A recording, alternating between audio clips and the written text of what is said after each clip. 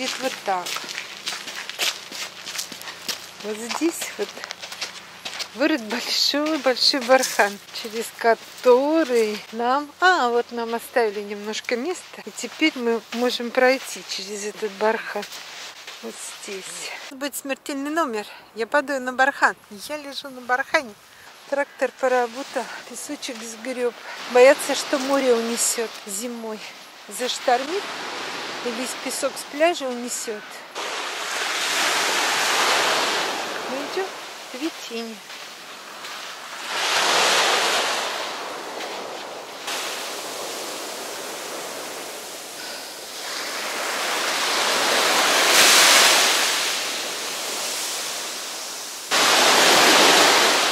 Вот 25 ноября. И такой яркий солнечный день. А когда идешь, вообще тепло. Вот человек работает. Роет песок на пляже. Смысл, конечно, не ясен, но почему он так далеко от моря, он копает, знаю. Но, видимо, ему так сказали. Работает.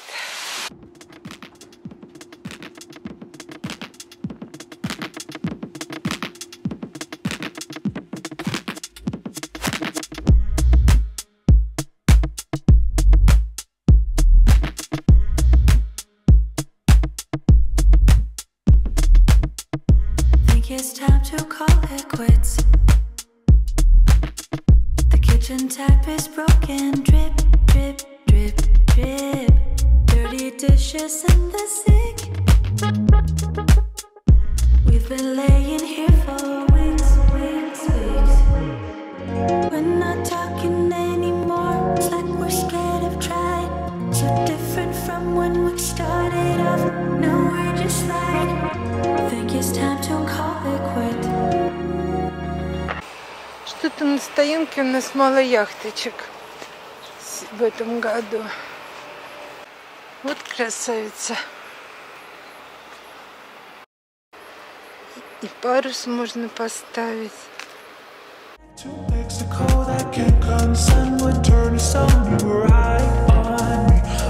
To vibe with me.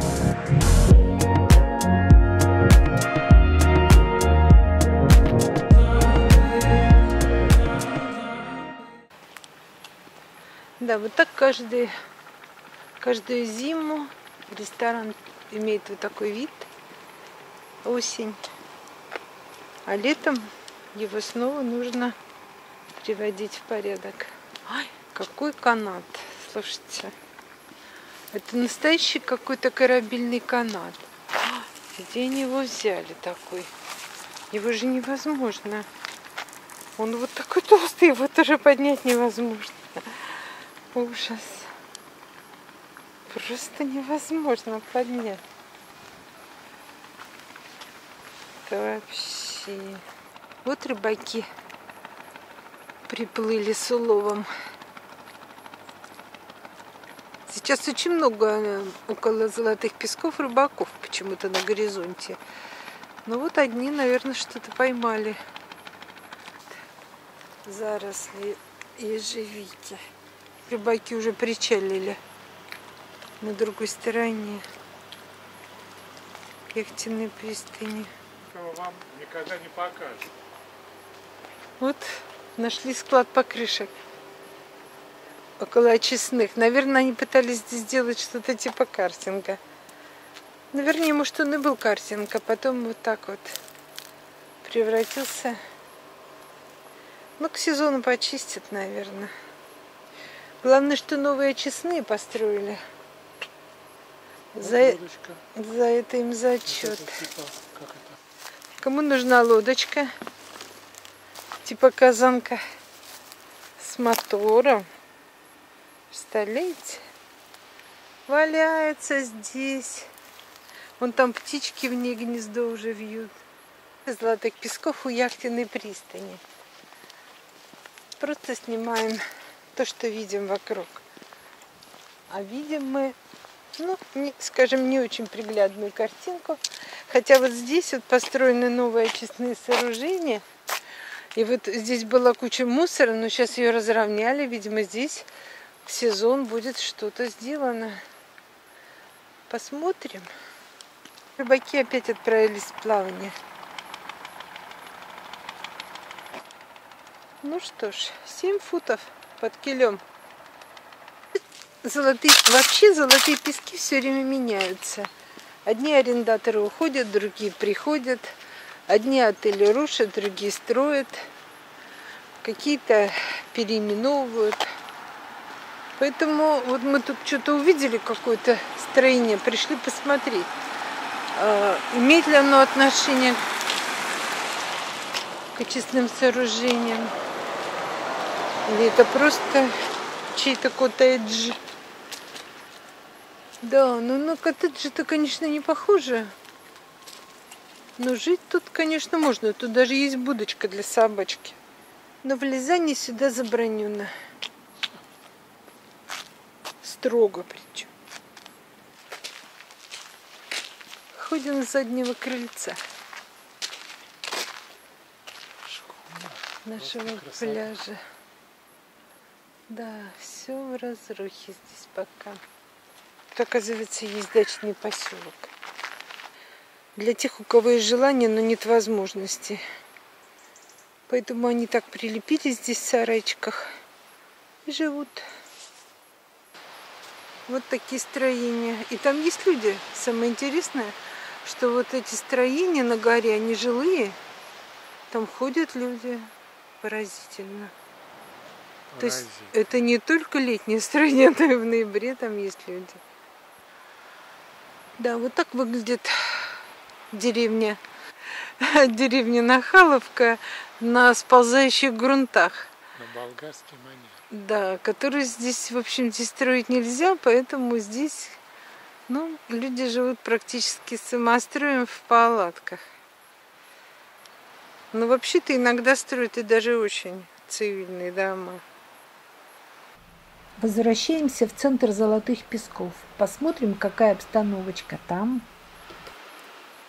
Вот отель Интернационал, самый центр Золотых Песков. Не работает. Но дверь открыта, можете идти играть. Сейчас я подойду, может быть, и поиграем. Сомневаюсь.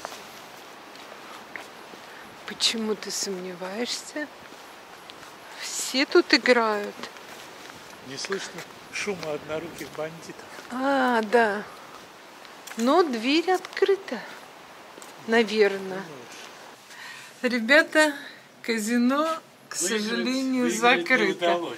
Тина, складирование.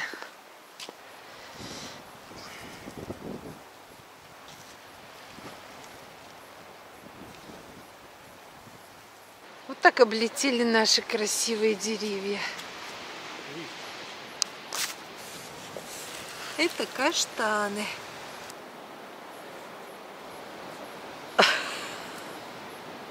Хорошо заходит.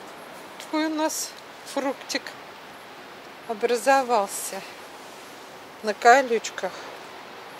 Оп.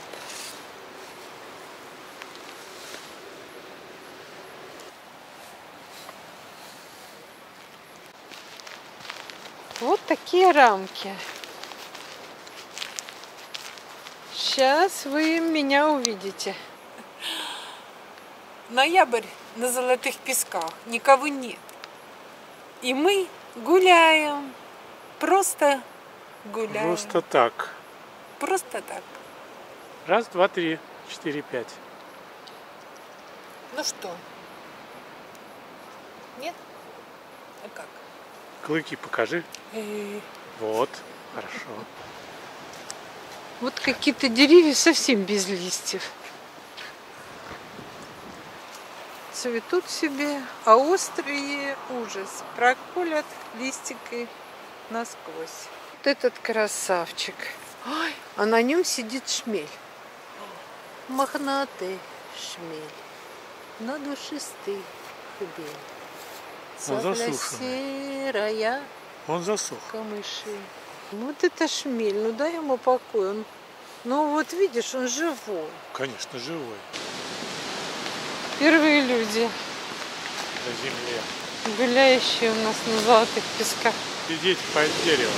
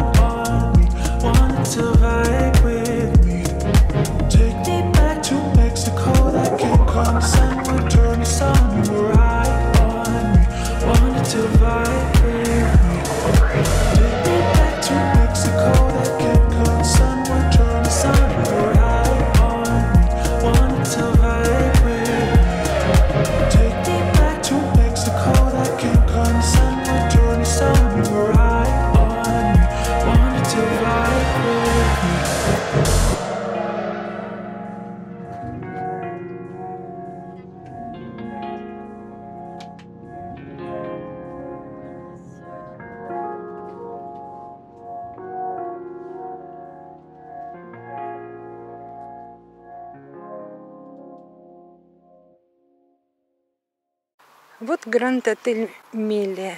Это ее фасад. Редко мы здесь проходим, поэтому снимаем этот отель нечасто. В дороге мы нашли вот такие плоды. Кто знает, что это, поделитесь. И тут их очень много. Ой, тут у нас целый, целый склад. А вон там, О, и тут просто не знаю, что это такое за, за плоды. Кто знает, поделитесь. А вот такая вот разруха рядом. Тут когда-то был ресторан, но теперь его нет. Это около отеля Мелия прямо. Вот такой был шикарный-шикарный ресторан. И что с ним стало? Почему? Непонятно. Атмосферная, как ты говоришь. Да, вот это крыша от бывшего ресторана, который уже давно не работает. Тут в сказочном лесу какие-то дебри прям. Деревья, поросшие вьюном, и густые, и бурелом такой нецивильный. И все это золотые пески. И все это рядом с отелем Мелия и с морем. Вот наша собачка. Да, очень агрессивная. На машины кидается. К счастью, нас не трогает. Пока. Вот так выглядит отель помпезно Агиш Портес. Я еще название уточню, я не могу его выговорить. Не знаю, почему такое название, но явно здесь какой-то азиатский стиль. Какие-то элементы эм, египетских отелей. Вот банановая пальма. Да, пальма есть, бананов нет. Нам показалось, что в этом отеле работает бассейн. Но, возможно, и нет. Сейчас проверим. На бассейне работает. В этом отеле просто пальмовая роща. Здесь кругом пальмы, пальмы, пальмы. Все отели не с фасада, а с заднего крыльца. Ну или почти все. О, охрана. И мы идем по задворкам отелей. С заднего хода. Ну, для некоторых отелей вот это передний. Вот, например, Golden Beach. Это для него, можно сказать, фасад. Но зато вон какой прекрасный у нас аквапарк.